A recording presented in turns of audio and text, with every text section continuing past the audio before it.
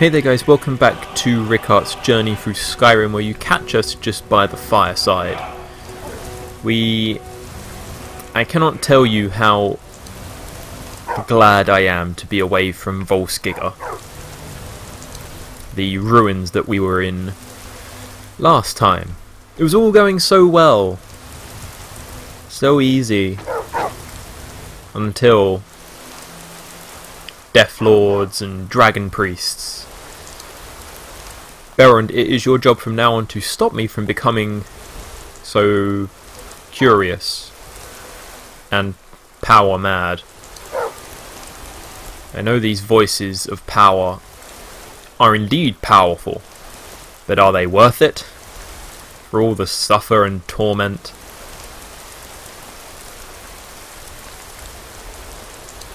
Well, it wasn't raining when I fell asleep. What we're going to do is that we are finally, after our arborist journeys through the wilds, are returning to Falk Firebeard and Solitude to tell them that they no longer have to worry about vampires and necromancers trying to summon, you know, trying to summon spirits of powerful necromancers from times immemorial.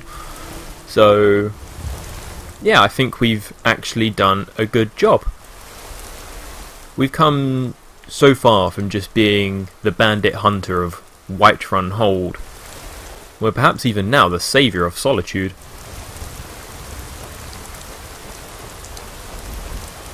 I just wonder what else they'll have planned for us when we get back. I'll tell you what, I think also one possible thing we could do is actually investigate the Bard's College. So many people are actually telling me that I should go. Wandering adventurers like myself and such on. Who knows? Maybe we'll speak. We'll speak with Falk first. We'll get a reward for clearing out Wolfskull Cave, and who knows? Because I do need to return home because I'm carrying. I'm carrying an awful lot, and I'm not terribly sure what's causing it. I mean, I suggest it's potions and a lot of ingredients that I really should use. Okay, so who's first? Reasonable, bearded man, or very mean, mysterious vampire lady that no one actually knows is a vampire. Let's get the unpleasant one out of the way. Sybille! If I needed something from you, you would know it. I cleared out the vampires from Pinemoon Cave. Filthy creatures, aren't they? Living in the darkness like they do. So uncivilized. Indeed. I prefer finery, like this. Here, for your trouble. And I suppose I should show you a little about illusion magic for free, shouldn't I? Oh, you could. I would prefer restoration, but I'm doing that on my own. Take care of yourself, and always remember, the world is ripe with people looking to spill your blood. Oh, believe me, I know. Falk. You've returned. Good. What did you find at Wolfskull Cave? Some necromancers were attempting to summon and bind Potema. Potema herself? Please tell me you stopped them. I interrupted their ritual. It's done. You've done a larger service to the realm than you could possibly know. Oh, believe me, I know. Resurrected Potema. I shudder at the thought. You're very welcome. It's so good to see you again. What have you got for sale? So, you wish to master the arcane arts? Not really, but every little bit at a time. Uh, here, take the ruby ring. Do you want some empty soul gems?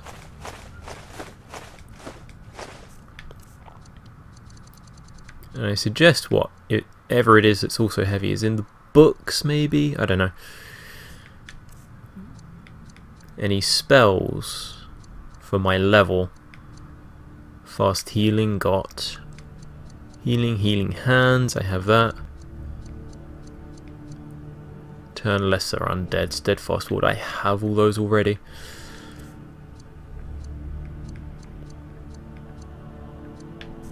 And Staff of Magi. No, you're good. Stay guarded. You never know what could be out there. Well, for me, it's dragons, cultists. The Thalmor are trying to kill me now. I don't know why.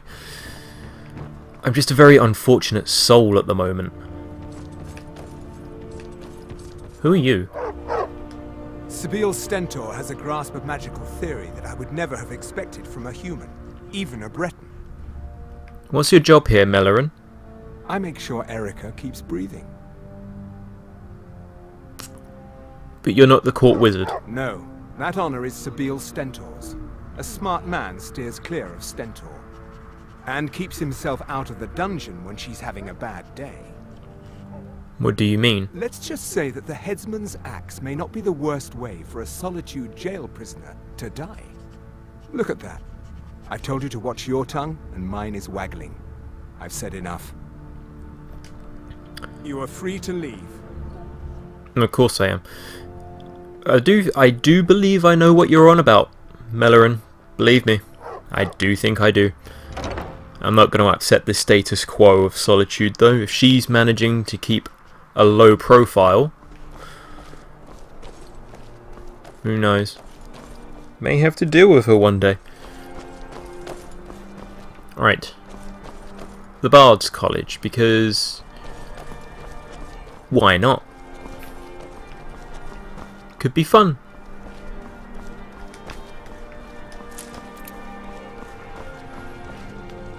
Where's the front door? There it is.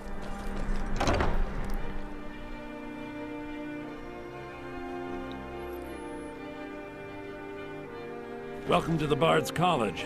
I'm the headmaster here. How may I help you? I'm looking to apply to the college. Always a pleasure to meet a prospective bard. You should be aware that many apply, but we accept very few people. When possible, we ask applicants to perform tasks the college needs completed. But in this case, I do have a task befitting an aspiring bard. What do you need me to do? Elisif has forbidden the burning of King Olaf, a festival put on by the Bard's College. We need to change her mind. To convince her, I want to read King Olaf's verse, a part of the Poetic Edda, the living history of Skyrim. Unfortunately, the verse was lost long ago. And that's where I come in. Yes, according to Giraud, our history's keeper, the portion of the Edda dealing with King Olaf might still exist in Dead Men's Respite. I need you to retrieve the poem. I'm sure it will be fine. Has the war affected you much then? Uh, not much, but as a bard, I find the whole affair depressing. There are no heroes in this war, no winners to be had, and no real conclusion. If you want something a bard can dig into, look to the dragons.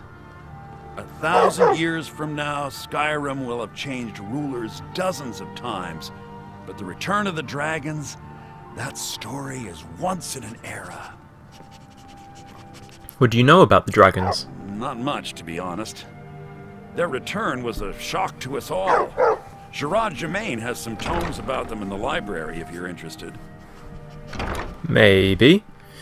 But why does Elisif forbid the festival? It sounds completely separate. As you may be aware, Elisif's husband, High King Torygg, was recently killed. Yes. Elisif mourns her husband deeply, and she feels that a festival that burns a king in effigy is distasteful. Ah. I tried to convince her the festival is many centuries old and celebrates solitude, but I need proof. I believe King Olaf's verse will provide that proof. So what is the Poetic Edda? I think Giraud here would give you the best explanation of both it and the history of King Olaf's verse. You should speak to him about Is that the guy with the silly hat? I wish Yes, you it is. finding the verse. Good to meet a prospective bard. What? I have Rjorn's drum. Not sure why I would speak to you about that. At last. I have searched for this drum for 20 years. You have? Treasury's a bit thin right now, but I can show you some tricks I learned from my days with the army. Well, to be fair, I'm glad to be rid of such a heavy item. Blimey, you've, you're showing me a lot here. And we're done. Viarmo said you could tell me about the Poetic Edda. He's sending you after King Olaf's verse, then. That's good. We shouldn't leave it lying around now that I figured out where it is. The verse was Svaknir's contribution to the Poetic Edda, the living history of Skyrim. Each bard adds to the Edda in his or her time. So King Olaf's verse is a lost part of the Edda. And a very ancient one. The verse criticized the reigning King Olaf. He was so incensed the bard was put to death and all the copies burned. At least, that's what we thought until I translated some ancient texts a year or so ago. We now believe King Olaf buried the truth with the bard. If I'm right, Svaknir and King Olaf's verse lie in Dead Men's Respite, along with the burial chamber of King Olaf himself. Be careful. You might find more than just King Olaf's. Yeah, I'm well aware I might find more than just King Olaf's verse. Song of the Alchemists. This was the book that Lami wanted us to find. Doesn't seem that terribly long. Who was it written by? Marobar Sul. When King Moranian's alchemist had to leave his station after a laboratory experiment that yielded detonation. Okay, this is meant to be some kind of poem. The word went out that the king did want a new savant to mix his potions and brews, but he could declared he would only choose a fellow who knew the tricks and the tools. The king refused to hire on more fools. After much deliberation, discussions, and debates, the king picked two well learned candidates Lanthipius Mithurk, Minthurk, and Umpathic Thair. That's a very interesting name. An ambitious pair. Vied to prove one was the best, said the king. There will be a test. They went to a large chamber with herbs, gems, and tomes, pots, measuring cups, all under high crystalline domes. Make me a tonic that will make me invisible, laughed the king in a tone some would call risible. So Umpathic Thur and Lethipius Minthurk began to work,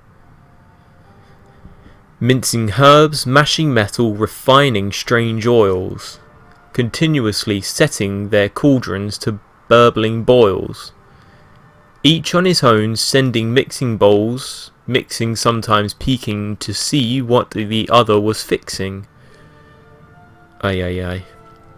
After they had worked for nearly three quarters an hour, both Lethipius Minthurk and Umphatic Fair winked at each other. Certain he won, said King Moranion. Now you must taste the potions you've wrought. Take a spoon and sample it right from your pot. Minthurk vanished as his lips touched his brew, but Fair tasted his and remained apparent in view. You think you mixed silver, blue diamonds, and yellow grass, the king laughed. Look up, Fair, up to the ceiling glass. The light failing the light falling makes the ingredients you choose quite different hues. What do you get? asked the floating voice.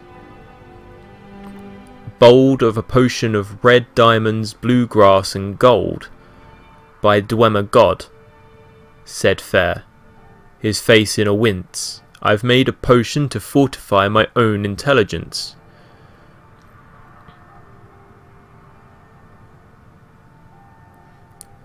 Publisher's note. This poetry is so clearly in the style of Gor Felim that it really does not need any commentary. Note the simple rhyming scheme of A, A, B, B, and C, C. The sing-song is purposefully clumsy and the recurring jokes at the obviously absurd names Umphatic Fair and Lanthipius Minthurk The final joke that the stupid alchemist invents a potion to make himself smarter by pure accident would have appealed to the anti intellectualism of audiences in the interregnum period, but would certainly be rejected by the Dwemer. Note that even Marobar Sul refuses to name any Dwemer gods. The Dwemer religion, if it can even be called that, is one of the most complex and difficult puzzles of their culture. Over the millennia, the song became popular tavern song in High Rock. Okay, so if Elder Scrolls 6 is in High Rock, I expect to hear this in taverns, yes? Eventually disappearing from everything but scholarly books, much like the Dwemer themselves. Oh, I need this book for Lami, but it's considered stealing if I do so. hidden from plain sight. There we go. No doubt this is something that I could simply take once I become indoctrinated into the college. We will never know. So they want me to go to a Nordic ruin, no doubt. What's the time? 7.15? Let's have a look. Where do they want me to go? Oh, let's get rid of that. Dead Men's Respite. So, bring one Song of the Alchemists to Lami. Dead Men's Respite is on the way back towards Whiterun. We need to head back to Whiterun to deliver Idgrod's note to Danica. Then, we need to meet whoever took the horn. Now, I do believe, festival aside, I think getting to Riverwood should be the priority. So we're going to...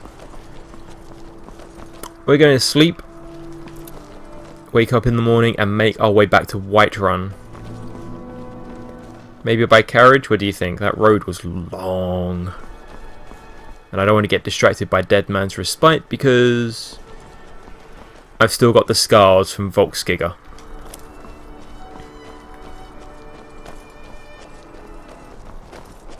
Okay, so here we are, first thing in the morning. We're going to make our way to the carriage driver down by the, uh, down by the, mm, down by the farm.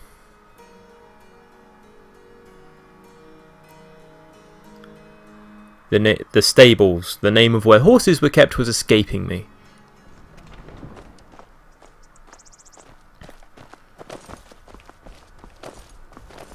It's not too bad of a morning, just a little bit chilly. Oh, there's nothing... Solitude has served us well, if not... Who's this in the road? Who are you? Resinda. How high the mountains of Skyrim rise. Oh, if you're here, then so should Rhysard, but I can't remember where they set up in Solitude. Huh. Right. Need a ride?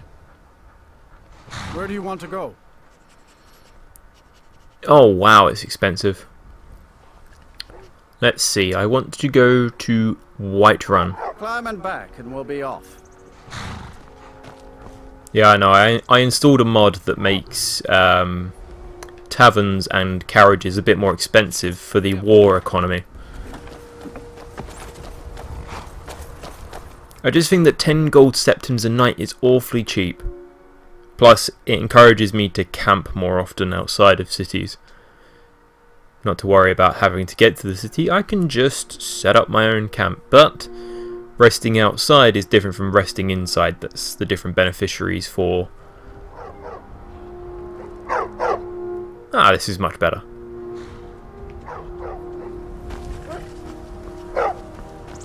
Oh, we remember you. Speak quickly. Hello. We are traveling to the Shrine of Kynareth in Whiterun. I hear the Gildergreen is more beautiful than ever since it's been restored. Yeah, I restored it. You telling me you've not been in there yet? Right, so what should we do? Let's head home first to offload everything because I want to know what's making me overladen so often. Really annoying. I know in survival the weight is different and I can and I carry less than I would outside of survival mode, but I just need to figure it out. My equipment and my armor can't be that heavy.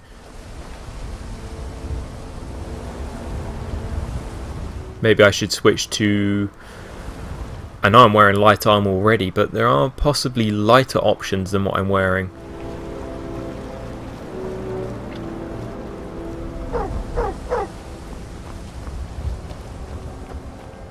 Plus I might actually leave Meeko at the house because you know that's kind of been that's kind of been the plan. Having Meeko and Belrond I think is just a little bit too OP while we're out and about. It's very useful, believe me, it's very useful. But there's also a little bit too much. Takes a little bit away from the challenge of wandering into enemies. Plus, mentally for me, it makes me less aware because I know that Meeko will detect anything well before I do. Animal instincts and all that jazz. I hope there's not been any dragons in my time away. We haven't faced anything in Solitude, so... Maybe they're keeping their distance. If the dragons learn that there's a dragon born who can absorb their strength, maybe they're going to be a little bit more tactical about how they face me. Which is indeed a little bit scary but all part of the territory.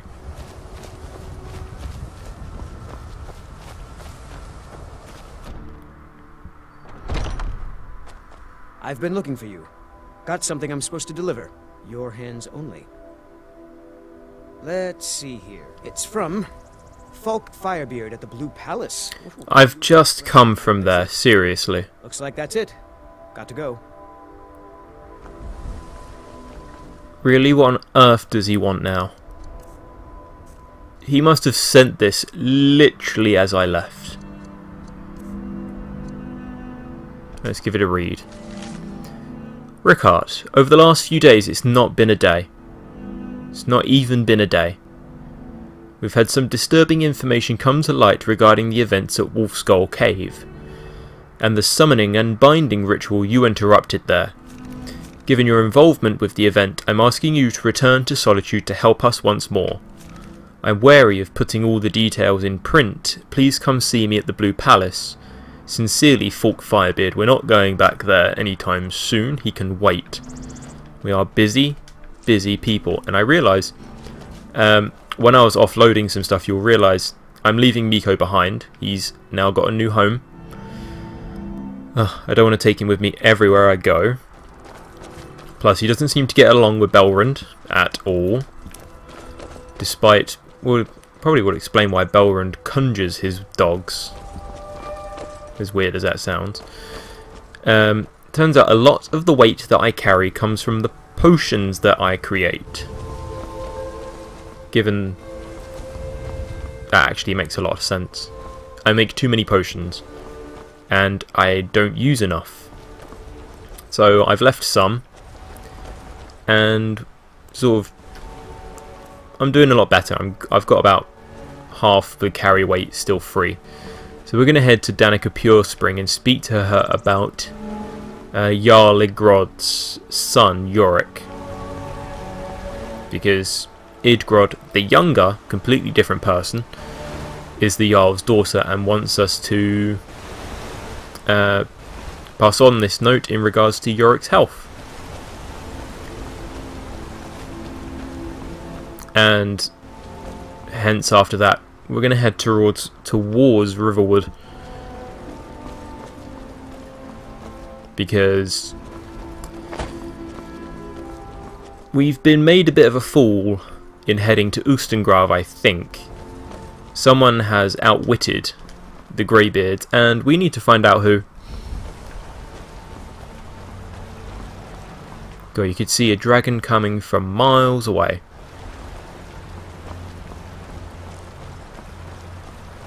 I doubt they've rebuilt that watchtower even. Plus, even if this person does have the horn of Jurgen Windcaller, that's going to mean I have to hike it back up that mountain. That I'm not looking forward to. Least of all, at least hopefully some of the creatures that I killed on that road shouldn't be back. I think that's... Yeah, I think I'm going to buy a horse. Not walking all the way back up that mountain.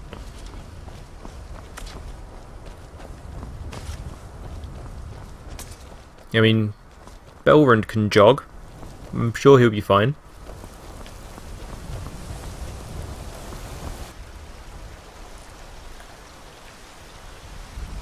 Oh, here's the Alik'r that we need to speak to as well. I found a lot of your people harassing women on the roads. Care to explain? Hmm? Who are you looking for? A woman, a foreigner in these lands. Redguard, like us. She is likely not using her true name. We will pay for any information regarding her location. We are not welcome here in Whiterun, so we will be in Rorikstead if you learn anything. Why are you looking for this person? It's none of your concern. All you need to know is that we're paying for information. If that doesn't interest you, feel free to walk away. And just repeat to me, who are you looking for again? We're looking for a fugitive who comes from Hammerfell. A Redguard woman. She may be somewhere in this city. There are a few Redguard women in this city. I'm surprised they weren't harassing Adrianne. Or maybe they were. You're someone who can get things. Take a look.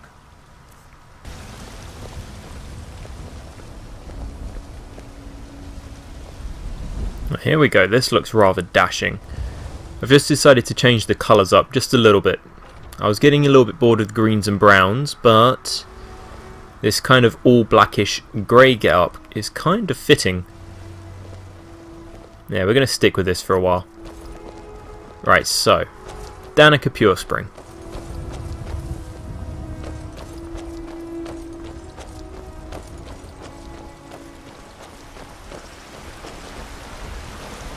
She was up in the temple of... Uh,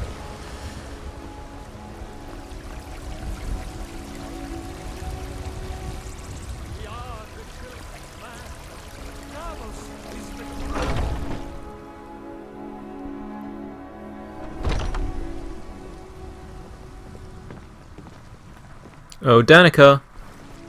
Hi again. A fine day to you, friend. May you die with a sword in your hands. I have a delivery from Idgrod the Younger. Yorick's sister? Poor child. Magic runs deep in that family's bloodline. It's not always a blessing. Thank you for this. Something for your trouble. There we go, so... Nothing else? I don't have to head back to her? Oh, assisted three people... Assisted people of Hjalmarch, three of three, returned to Idgrod.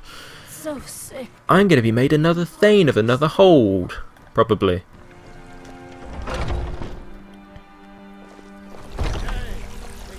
Well, I don't know about you, Belrond, but I could use a drink at the inn.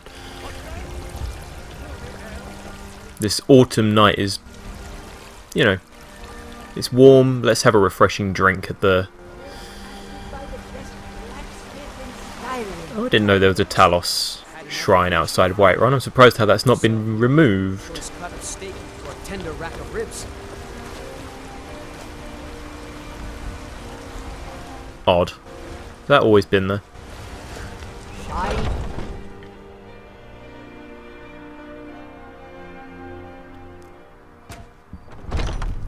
Welcome. Let me know if you want anything. I think I got a clean mug around here somewhere. Saadia, wake up, dear. Yes, Mum. Hmm.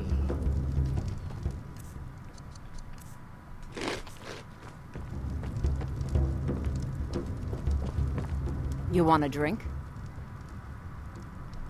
Depends. Are you thirsty? Hungry? Both. Let's see, what do you have? Argonian blood wine. What do you think about Belrin? Do you think that will do it? Yeah, we'll take this. It's expensive, but worth it. Anything else? Nope. I think we're good. Hey, you're Redguard, right? Did you know some Alik'r warriors are looking for Redguard? For a Redguard woman? Are you sure? Yes. Oh no. They found me? That was easy. I need your help, please. Come with me. I need to speak to you privately. Quickly, come with me. For the age of aggression is just about done. Belrond, wait here. Very well. Just be careful. I'm always careful. He says, both hands on his sword blade. Back our home. Down with Ulfric, the killer of kings. On the day of your death, we will drink and we'll sing. I'm not liking the idea of this. Children of Skyrim, and we fight all our lives. When Sovngarde beckons, every one of So, are you working with them? Dies. You think you can take me? You so much as touch me and you're going to lose But fingers. this land is ours. I and we'll mean it. See it I'll, I'll cut you in of the scourge that I'd like to see you try. What did they offer you? Gold? How many more of them are coming? They just asked me to find you. You can't tell them. Oh, Please, I need your help, and there isn't anyone I can trust here in the city. Maybe. What do you want? I am not the person that the people of Whiterun think I am. Clearly. My real name is Iman. I am a noble of House Suda in Hammerfell. The men who are looking for me, the Alik'r, they are assassins in the employ of the Aldmeri Dominion. They wish to exchange my blood for gold. I need you to root them out and drive them away before they find me and drag me back to Hammerfell for an execution.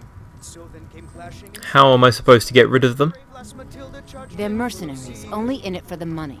They're led by a man named Kematu. Get rid of him, and the rest will scatter. I don't dare show my face, lest they recognize me, so you'll have to find out where they are.